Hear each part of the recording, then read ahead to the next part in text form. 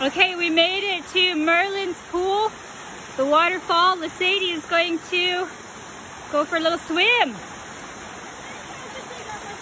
Take off your shoes then.